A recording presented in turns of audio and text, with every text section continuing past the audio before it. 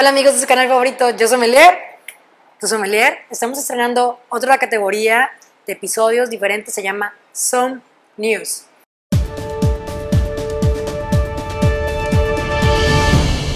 ¿De qué se trata? De repente nos enteramos de que eh, un vino tanto se vendió y carísimo y uno no puede explicarse por qué es que llega a tanto un vino. O alguien se enteró de, este, no sé, cosas muy raras. Eh, gente que compra vinos carísimos, pero también gente que hace ediciones padrísimas y muchas cosas que hacen que el vino se vuelva como, uff, en cantidades que ni uno puede creer que vayan a costar eso. Entonces, lo que queremos en este es podérselas digerir, traducir. Nos pusimos a revisar muchísimo porque hubo una nota que causó controversia, que es la del Petrus, que se llevaron al espacio y que ahora vale más de un millón de dólares. Encontré muchísimas fuentes, encontré fuentes de, bloggers, de gente que se dedica al mundo del vino, donde hablaba de dónde Petrus eh, lo enviaron, con quién lo enviaron, todo esto. Pero hay una fuente todavía más padre, que es obviamente la de la École du Vin de Bordeaux, que es la escuela o la Universidad de, de, Burdeos, que es donde se hizo la cata, pero también está la de Christie's, que es la casa de subastas donde se subastó este vino. Cosecha 2000 de Petrus, primer dato, fue una cosecha muy muy buena, una cosecha muy característica, una cosecha que por lo tanto, al tener, vamos a decir que una variación, en este caso mandarlo fuera de órbita, se va a notar muchísimo cualquier cambio. En color, porque era un color en particular, en aromas y en sabores. Entonces, por eso se eligió la añada 2000. Dato número uno, esa es la añada. Dato número dos, se mandaron 12 botellas al espacio. No fue nada más una, fueron 12.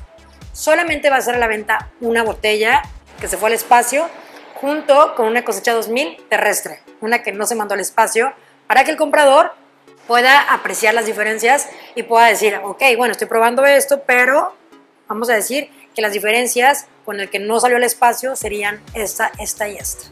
Otra, otra cosa importantísima es esta caja hermosa en la que se entrega el Petrus. Les voy a contar, y por aquí la vamos a poner aquí en la foto. Esta hermosa caja, que es una caja obviamente que se hizo a mano este, en una casa parisina, en colaboración de un artista que se llama Cyril Congo. Y la botella se esconde detrás de un sistema solar inspirado en, en Julio Verne. Y viene acompañada, como les decía, de la otra botella Petrus, pero terrestre. Hay algo importantísimo que me encantó, que viene también un sacacorchos confeccionado a partir de un meteorito y copas. Y obviamente el Petrus era parte de una venta privada, que ya fue en teoría en Christie's y esta botella está increíble, eh, quedó arriba del millón de dólares, entonces estamos hablando para los mexicanos, que estamos hablando de una botella de 20 millones de pesos. Bueno, dos botellas de 20 millones de pesos. Creo que definitivamente si los tuviera, pues sí me la comprara. Espero que el que la compre me invite a probarla. Esta venta superó, como cuarto dato importante, superó la venta de la anterior botella eh, más cara del mundo, que había sido una DRC, o bien conocida el Domaine Romane Conti, el Domaine Romane Conti, que siempre ha sido de las bodegas más caras, es, una, es un micro micro domain, o, podemos decirlo también chateau si quieren, eh, dentro de Borgoña, en una zona increíblemente cara, pero esta es obviamente la casa que siempre ha vendido los vinos más caros, son de uva Pinot Noir, y la botella, que era una 1945, se ha vendido en más de 500 mil dólares, mes mayo, en 2018. Entonces, tuvieron que pasar casi tres años para superar ese precio. También hay que entender, quinto punto importante, que esta, esta botella, que llegó también de la luna, vamos a decir que se mandaron 12. Una se vendió en el paquete, tres se utilizaron para tastings. El tasting fue en la Universidad de Burdeos, y el tasting ellos pudieron sí apreciar características muy diferentes a los Petrus terrestres. Ahora, pónganse a pensar, ¿no? O sea, eh, ¿cómo cambiaría el, hecho de que sales de órbita? Híjole, no sé. La verdad es que se supone que estas botellas se, se mandaron en un ambiente micro, este, controlado, pero de cualquier manera, según los catadores, se pueden apreciar diferencias muy notorias, o sea, muy, muy marcadas pero para lo mismo dejaron otras ocho botellas para ir viendo cómo realmente iban a ir evolucionando. Son datos de cata que todavía no han salido a la, luz, no han platicado de ellas, pero imagínate qué padre ser parte de esta misión científica. Yo pudiera aplicar, ¿me llevan? claro que no. es mayo. ¿Por qué Petrus por sí ya cara? ¿no? Tú puedes ir, eh, por ejemplo, y por cierto, hace unos años le regalé a un amigo este, este corcho, sacacorchos de Yo Sommelier, que trabajaba en San Regis. Mi adorado dice que le dio suerte porque el primer vino que vendió fue un Petrus. Entonces, más o menos, vinos de 80 mil, 100 mil a más pesos pueden valer.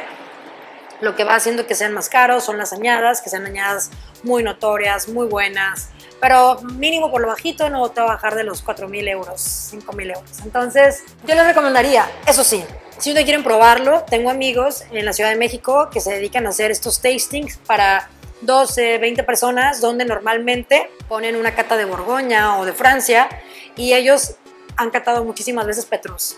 Espero que la próxima pueda ver. La última que hicieron fue de 25 mil pesos el ticket, entonces, como no, pudieran ir a probarla.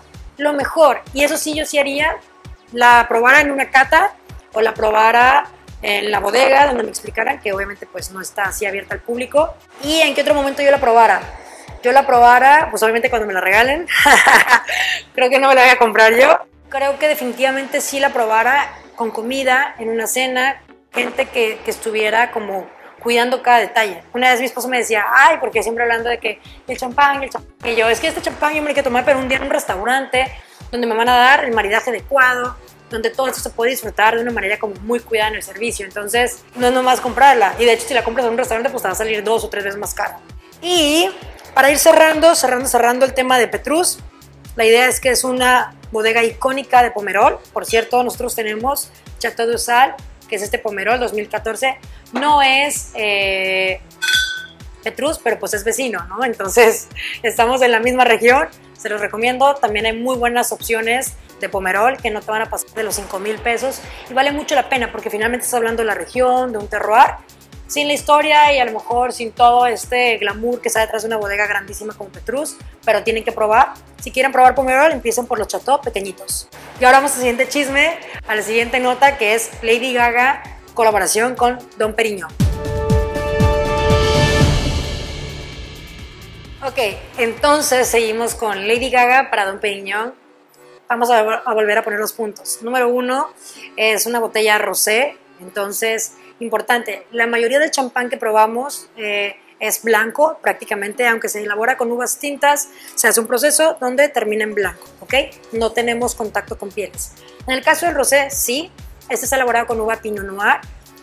Pinot Noir eh, es la base, vamos a decir, de, un Don Periñón. Ellos no utilizan Pinot Meunier, casi nunca lo he utilizado. ¿Por qué? Porque la Pinot Meunier tiende a oxidarse muy rápido con el tiempo y la Pinot Noir tiene una capacidad de aguantar muchísimo más.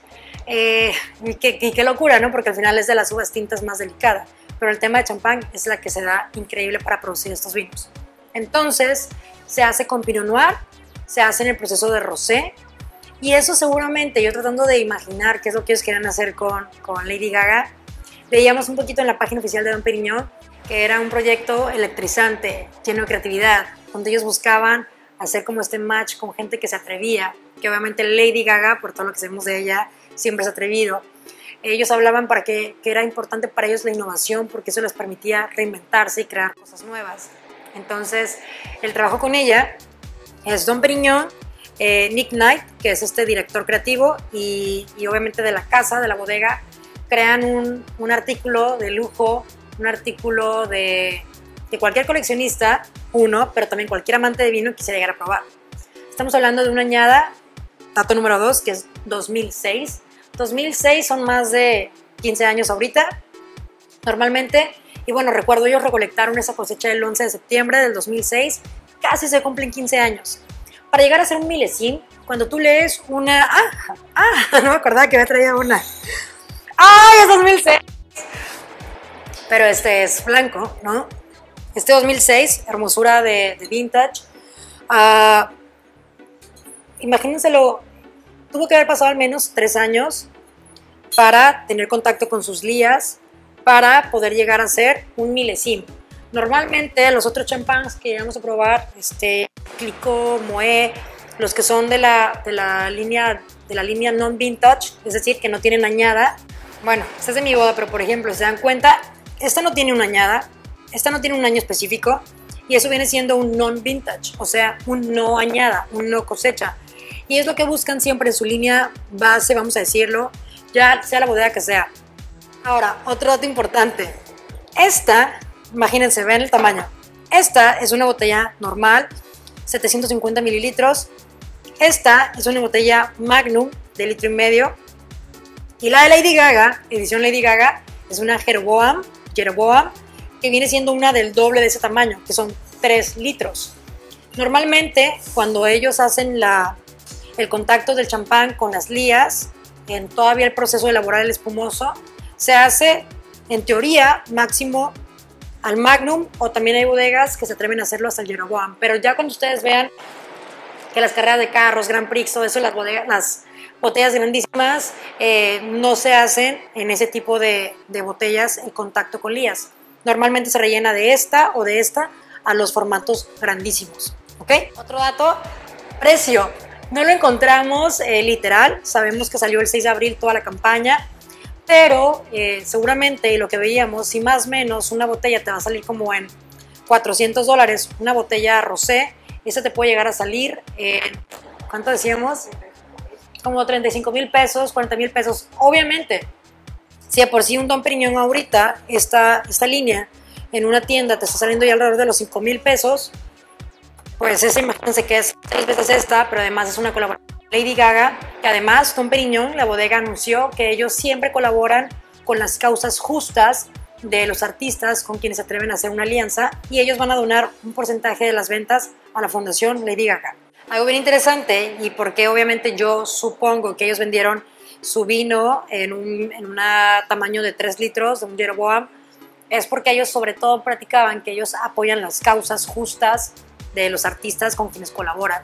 Y colaboran con cantantes, colaboran con obviamente eh, artistas.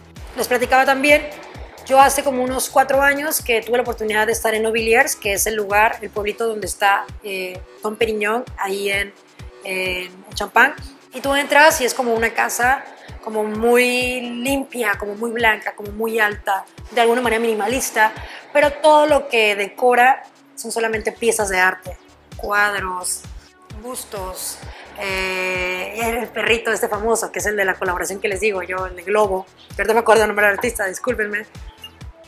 Y, y, todo esto te habla de que realmente el estilo de esta bodega, obviamente al hacer el vino top en tema de antes, era el top de, de Moe, era Moe y el top, o vamos a decir que su, que su gran cubé era estos. Ahora, aunque son de la misma, del mismo grupo, se separan y Moe genera sus propios milesim, sus propios 2007, 2008, bla, bla. Y ellos solamente producen milesim. Si no fue una gran añada, vintage, Tom Perignon no te produce ese año. Y creo que, no queda el dato erróneo, pero creo que 2005 no salió. Y así más o menos la gente eh, que trabaja dentro de la bodega, los chefs de cap, son quienes deciden qué año así sale. Para haber hecho en 2006 hasta 2009 se quitan las lías, después de haber descansado con sus lías, se pasa ya finalmente a la botella final y de ahí, este 2006, el de Lady Gaga, se quedó 15, no, 12 años más en, en descanso, ¿ok? Por eso 2006, 3 años, 2009 y 2009 a 2021, los 12 años restantes. Imagínense la capacidad de guarda que tiene este tipo de champáns. Por eso cuando hay gente que nos pregunta, oye, ¿qué, qué bodega puedo guardar? ¿Qué vino puedo guardar?